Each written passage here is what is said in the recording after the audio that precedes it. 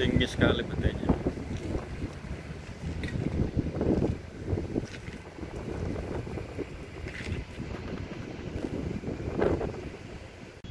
tuh petainya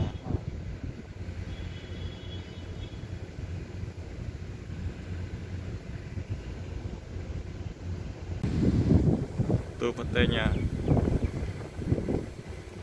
di sana juga ada petai nah.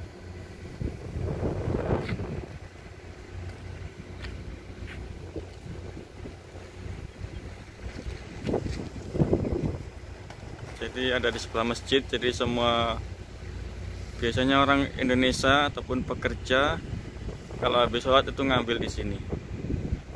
Jadi yang lagi ngidam pete bisa langsung ambil di sebelah masjid. Tuh kan?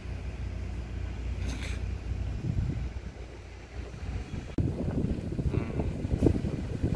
tuh guys petai Cina guys. Jadi di Arab itu ternyata juga ada petai Cina. Ini kalau mau yang suka petai Cina bisa ngambil gratis